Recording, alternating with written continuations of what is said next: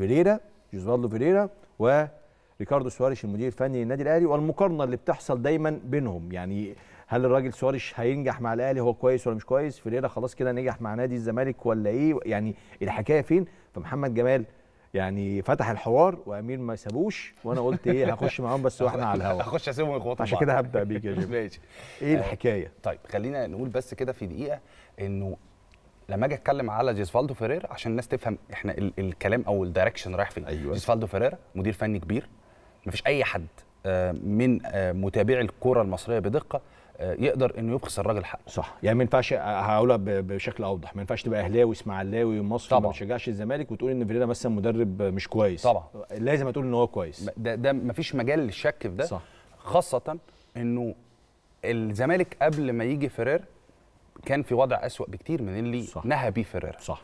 الزمالك كان بيعاني من آه، إيقاف القيد لفترتين لفترتين وبعد الفترة اللي إحنا هنتكلم عليها أو المقارنة اللي إحنا هنتكلم عليها ابتدت الأمور تبقى أصعب مش أسهل.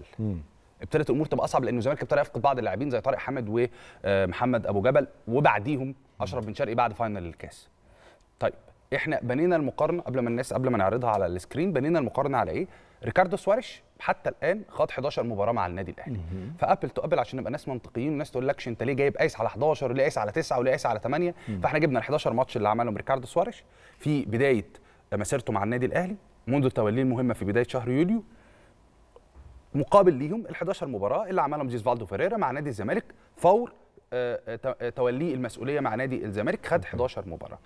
نيجي نبص بقى عليها على على يلا. ال screen. يلا. يلا. 11 مباراة لفيريرا. 11 مباراة لفيريرا في المقابل 11 مباراة لسواريش بنعيد تاني ليه 11 لأن هو كل اللي عمله سواريش مع النادي الأه- مع النادي الأهلي 11 حتى الآن مباراة. 11 مباراة. فهنقارن بنفس العدد. بأول 11 مباراة. عظيم. يلا بينا. تعالى. فلما نيجي نبص على نبص على ال screen هنلاقي إنه في أول 11 مباراة لجيسفالدو فيريرا فاز في خمس مباريات من ضمن ال 11 تعادل في ثلاث مباريات وخسر ثلاثة.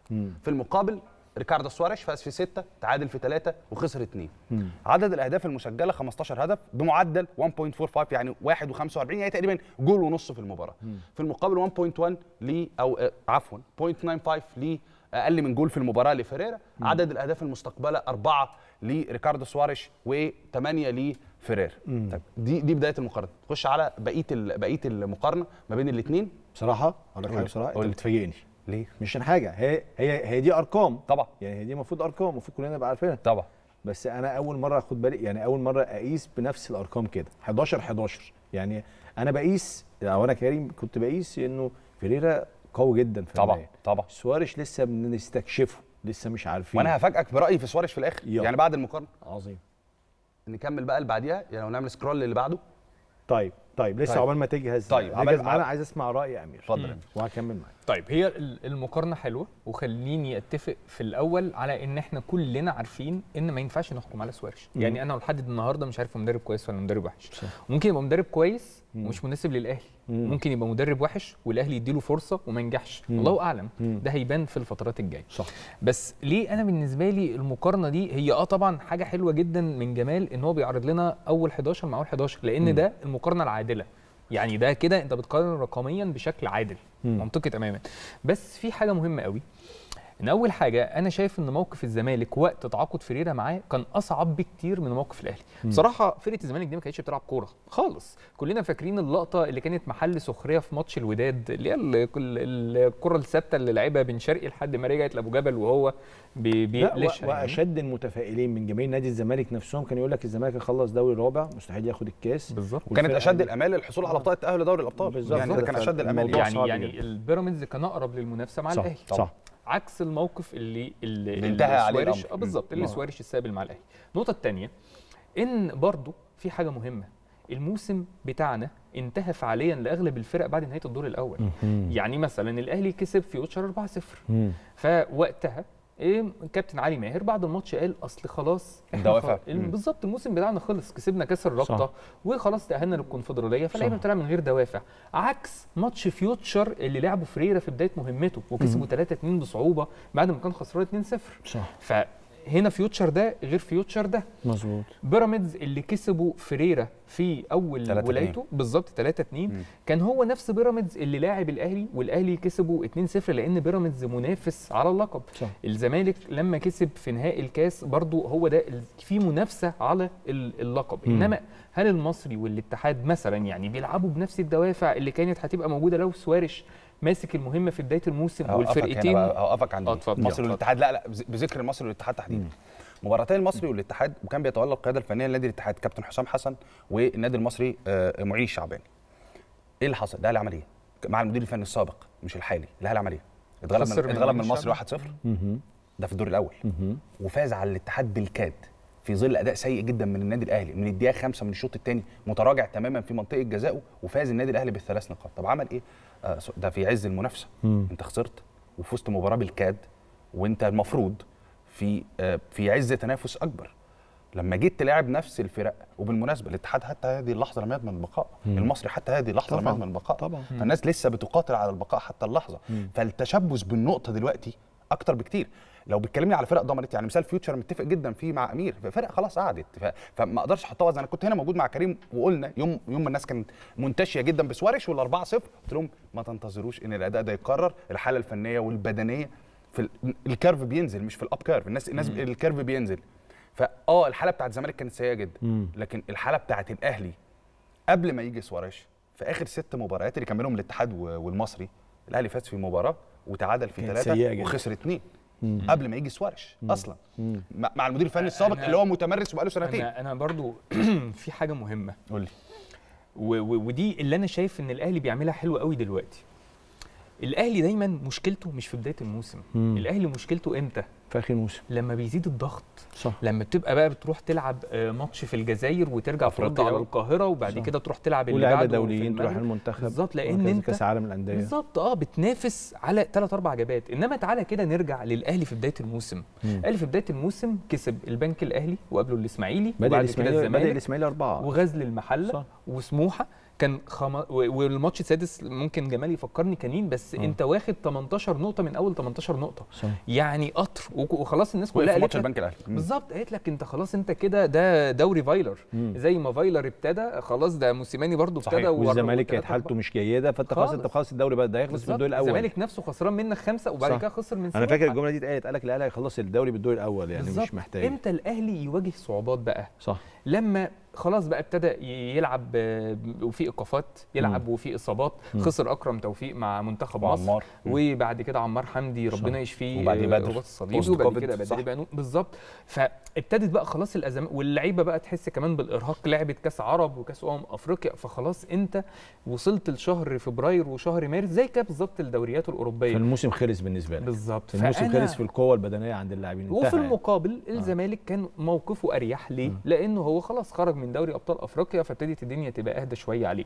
فبرضو برضو يا جمال أنا مش هقدر أقارن اللي حصل مع موسيماني في نهاية فترته بفتره سواريش دلوقتي. خالص وأكبر خالص. دليل على أنا بقول إنه الراجل ما خدش ما خدش ال curve وهو فوق وابتدى ينزل. هو ال curve كان ابتدى ينزل للأسباب اللي أنت قلتها مم. اللي هي الإجهاد تراكم المباريات. أنت جيت في ال peak بتاع ال season أنت كفرقة بقالك ثلاث ثلاث مواسم بتعاني من التحام المواسم.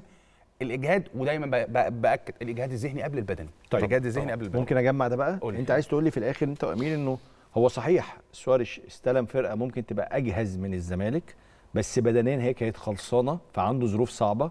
فيريرا استلم ظروف من الز... آه، فرقة الزمالك في ظروف صعبة فالاثنين استلموا في ظروف صعبة. فده يوصلنا في الآخر للمقارنة اللي أنت عملتها بس دلوقتي. هقف معاك عند كلمة. آه.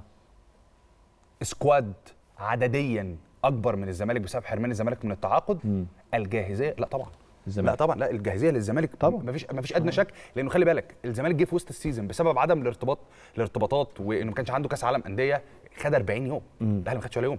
فدي ادت بقى لفريرا وما كانش شغل فريرا لأن بس بس اللي فريرا تولى 4 مارس. آه بس اللي بيطلع يا جمال من الأهلي دايما ده من النادي الأهلي. مم. إنه كان مشكلة النادي الأهلي الفترات الماضية ان موسيماني كان بيدي راحة كتيرة للاعبين على فترات كتيرة وده اللي أثر عليهم بدنيا وعمل لهم مشكلة. لأنه فترات الراحة دي كانت كان بيديها لمين؟ آه. فترات الراحة دي في كل الأجندة في الفيفا dates كان المفروض إن هو يجهز المجموعة الثانية بيتكلم على المجموعة الثانية دايما. اللي هي اللي هي موجودة دلوقتي. ما بيتكلمش على المجموعه اللي الأساسية هي لأن كان بيتكلم على المنتخب. اللي هي لما لعب ما كانتش جاهزة. هي دي هي دي. هو هو ده كان أكبر خطأ وقع فيه موسيماني أدى إلى هذه الحالة. طيب نستنتج عشان نقفل بقى ال- ال- القصة دي. إيه ريكاردو سواريش وأنا قلت أفاجئك برأيي ريكاردو سواريش لا يمكن الحكم عليه حتى هذه اللحظة لا بالإيجاب ولا بالسلب. صح. ليه؟ الحكم بالمنطق بالمنطق في ظروف لا منطقية يمر بها النادي الأهلي هو لا منطق بعينه. صح. فنهاية أي مدير فني في الدنيا وفر له الظروف المناسبة وده اللي عمله نادي الزمالك مع فيريرا. حاول يوصل بأفضل وضع للوضع اللي موجود. ساب الراجل يشتغل أطلق يده في الفريق زي ما بيقولوا. والراجل بعد البداية اللي أنا شايفها هي بداية رقميا بداية غير جيدة لأن أنا كسبت خمس مباريات من 11 صح. خرجت من دوري أبطال أفريقيا طيب. فريرا عشان برضه أوضح للسادة المشاهدين. القصد بالمقارنة اللي أنت عملتها دي أنت مش عايز تثبت إنه سواريش يا جماعة أحسن من فيريرا. خالص. صح كده؟ خالص.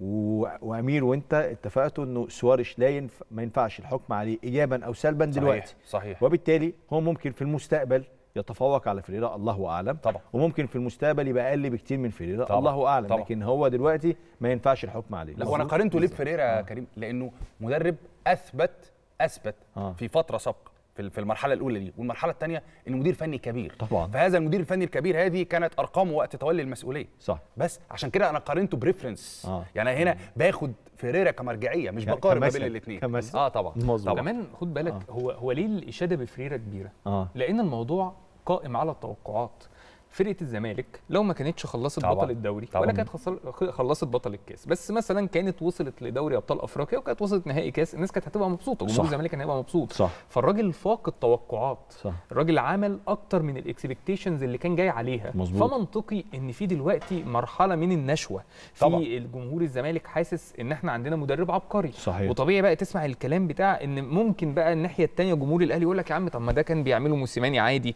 مم. لا هو ولان الراجل كان جاي بتوقعات قليلة فلما طبعا فاق التوقعات ورجع في مسابقة الدوري كان بعيد جدا فيها زي ما إحنا ما شرحنا بداية الدوري كانت بعيدة جدا عن الزمالك وبنتكلم الأهلي وبيراميدز هم اللي بينافسوا. فطبعا هو ال- اللي هو ده اللي خلى ناس كتيرة تقعد تقول إن فريرا فعلا عمل سحر عمل إنجاز. مما ساهم في رفع الضغوط عن فيريرا والفرقة وعن الزمالك في التوقيت. خش بقى اللي انت صلاح عايزه. هياخد البالون دور؟ لا. طبعا. لا. طب. اقفلوا يا ابني. أنتوا جاوبتوا بسرعة قوي ده لسه هقول لك بعد الفاصل. خلصت على- واعرف لا ليه. خليكم معانا.